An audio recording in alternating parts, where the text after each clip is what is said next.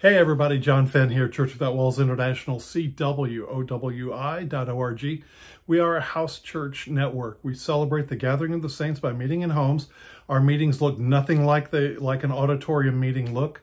We follow the pattern of Acts 2.42 where they were constantly in the apostles' teaching and fellowship, food, and prayer. It's very simple, but it's more like a lifestyle and a community of faith that's healthy and balanced it's the way they did it for the first 300 years uh, after Pentecost that saturated the Roman Empire in under 300 years. So visit our website, cwowi.org. There's 10 question and answer videos about house church. My book, Return to the First Church, is my journey to house church. There's uh, lots of other articles. Sign up for my weekly thoughts as well and my monthly newsletter. That's where we put word of our meetings, our conferences, our online meetings, uh, things of that nature, plus prophetic things in the newsletter. So uh, anyway, sign up for that, cwowi.org. Today, asking the question, what about the handicapped people? What about uh, healing for them or heaven, or do they automatically go, etc.? What's the Lord's perspective on that? Many people don't realize that our oldest son, Chris, was born with the umbilical cord around his neck in a slip knot. And as a result, he was a blue baby when he was born by emergency C-section. He uh, was revived, but he has brain damage called cerebral palsy. CP or cerebral palsy is any damage incurred to the brain during labor or delivery. It's not a disease, it's an injury. And as a result, there's different stages of it. Just a few seconds without oxygen here or there could mean the difference between somebody walking or not walking. Uh, for Chris, he is mentally in the four-year-old range, although he takes things in at a much higher rate. He is in a wheelchair. He had a stroke when he was 17 years old, so he's only got the use of his right hand. He can stand when I pull him up to pivot out of his wheelchair onto a toilet or bed or chair or something like that, uh, but he can't walk any longer. So he's in a wheelchair. He is the happiest little four-year-old you've ever seen in a man's body, in a 43-year-old man's body. Uh, he's nonstop commentary on every car, truck, person we meet in the stores, etc. He was at home for the first 24 years of his life. And then uh, when his little brothers uh, graduated school and went off to college, we realized how much help they had been and that we needed to make a move to put him in a group home. So as of this recording, he's been in that group home 19 years. Hardest decision we ever made in our lives. I want to share a little bit about it. I want to share a little bit about uh, another gentleman um, that I know uh, who's what the world would call handicapped and the Lord's perspective. The first thing is, I'll say this, yes, we know why it happened. Yes, he's had prayer and everything else. Uh, so no need to write me, email me, or anything else at this stage of our lives. Uh, we've had all the answers we've, we've got, and you've got to understand Chris's perspective. When Chris was 21, just to share this before I get into it, when Chris was 21, he came crawling down the hallway and uh, army man style, because he could just, he has to pull himself with his arms. And he, he came crawling down the hallway going, Dad, Dad, know what Jesus said to me? He said he's going to walk through the mountains with me. Yep, that's what he said. One day he's going to walk through the mountains with me. Yoo-hoo! Isn't that great? That's what he said, all right. He's going to walk through the mountains with me. And he was just excited and laughing and giggling at that. So since he's been about 21 years old, he his faith has been set on, on heaven. Uh, he'll see kids running on TV, on a TV show or something, and, and he has said before, when I get to heaven, I'm going to run like that and other such comments like that. And the Lord is very gracious to him, very good to him in ways that you can't even imagine the timing in our lives. Uh, I pick him up on Friday mornings, usually when I'm not traveling. We run the day, we run errands all day long. All the store clerks know us. Um, if Barb and I happen to go into a store without him uh, during the weekday or something like that, they'll ask where our little buddy is. Uh, Chris loves dogs, people, everything else. He's, he's just funny. Makes people laugh. Um, and as I said, yes, we know what happened, we know why it happened, etc. And so Chris's faith is set for heaven. Even though every night, every Friday night when he's home, as I turn out the light, I say, by stripes, and Chris will finish it, I was healed. But mentally, he doesn't have that ability to understand time and space and the whole concept of something done in the past that can benefit him now. So having said all that, now let me share a couple things. Uh, when we made that decision to put him in the group home, um, Barb and I were up late, crying, praying, asking the Father, you know, just take him home. You know, I've been to heaven. Barb has been to heaven briefly. And, and, and we told him, we said, we'd rather go through even 50 years on this earth missing our, our oldest son, uh, but knowing he was in heaven, uh, than to have him go to a group home and, and live longer in that handicapped body of his. And uh, Barb eventually drifted off to sleep, and my was still going. I was saying, Father, just take him home to heaven, or or put his the brain damage on me. I know how to be healed. Put it on me, and I'll be healed. And at the same time, rebuking myself because it's like, no, Jesus took that on himself. But why he's not healed, and Chris's will, and how that all mixes, you know, is still like out there un- unanswered. Um, you know, I've had I've had visitations. I'll interrupt myself. I had, uh, obviously most of the visitations early on uh, were there in our house with Chris just down the hallway asleep. And there's the Lord in the living room talking to me about things and teaching me things.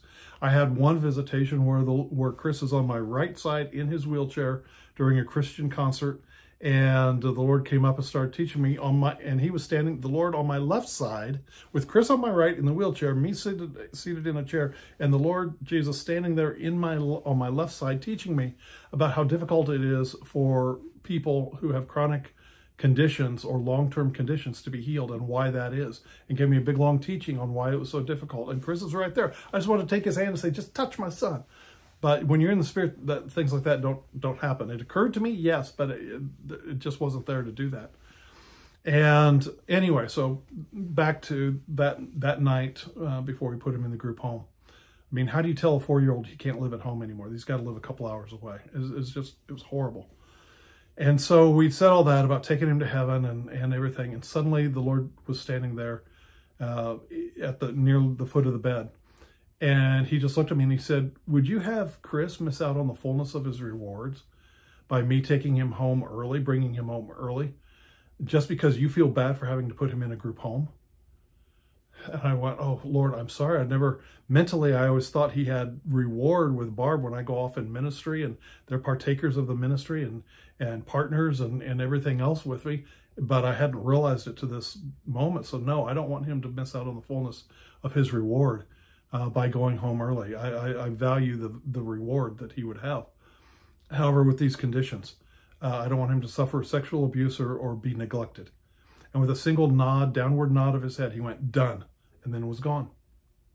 So Chris has been in that group home nearly 19 years, uh, nearly going on our 20th year now.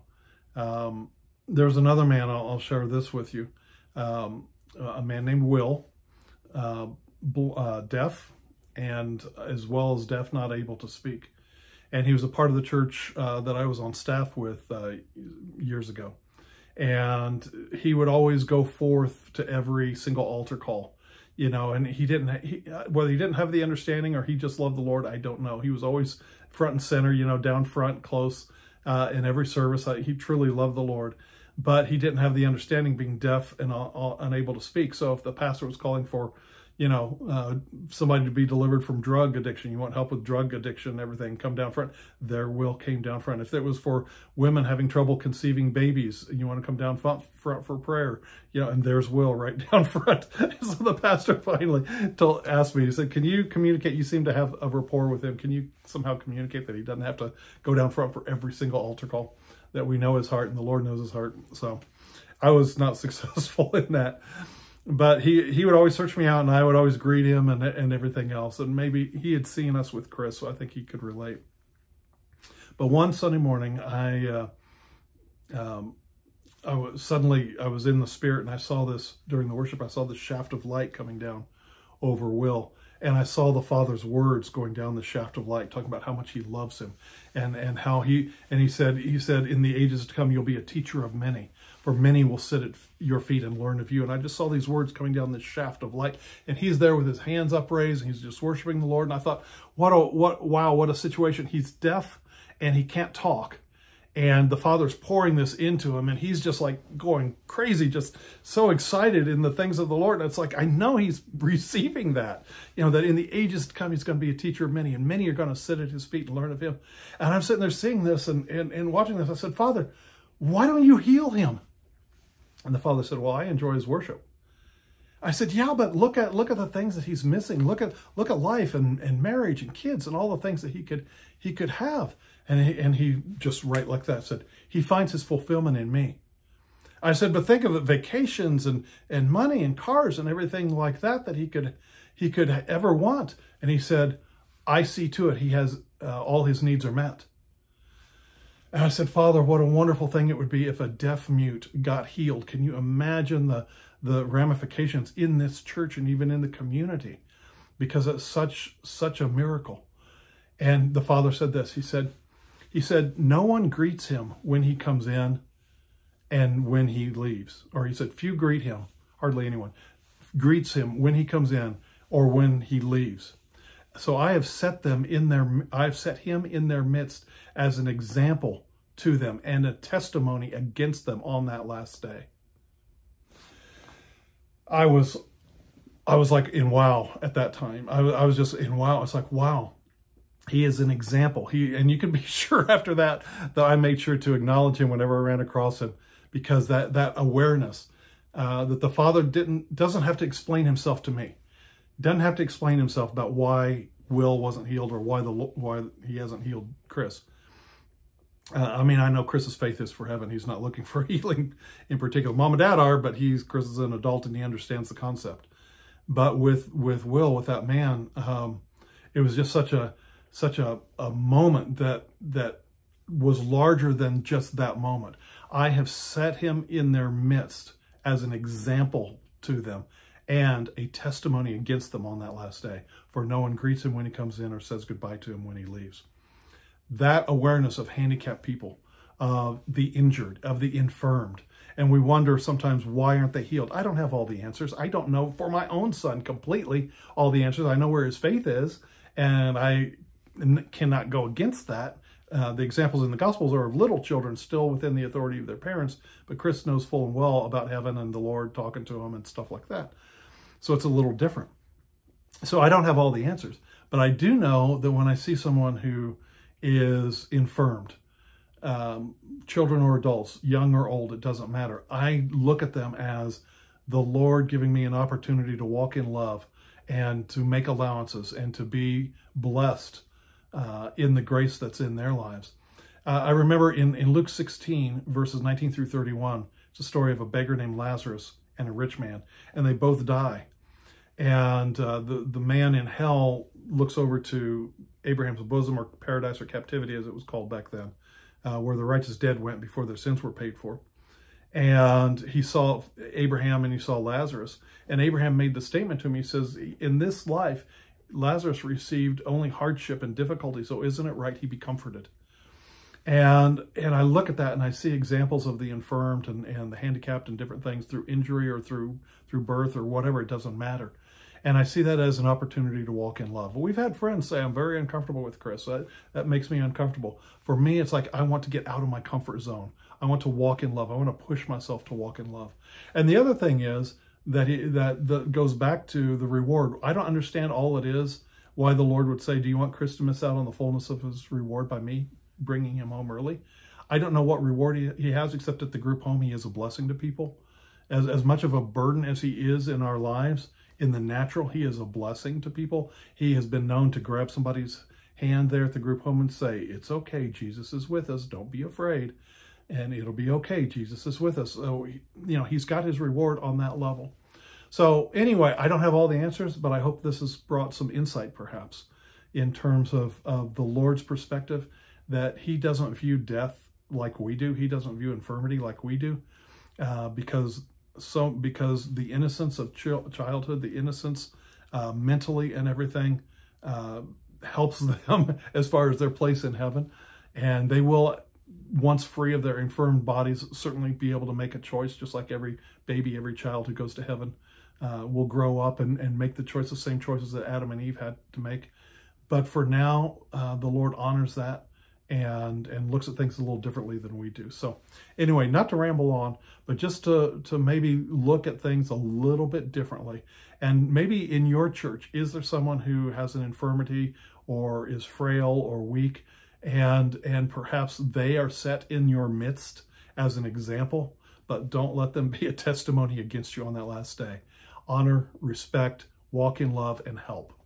Um, and anyway, hope this has been a blessing to you. I'm just sharing a little transparently about my life and and our lives, and um, it's, it's been a long haul, but uh, it's been a blessing. All right, God bless.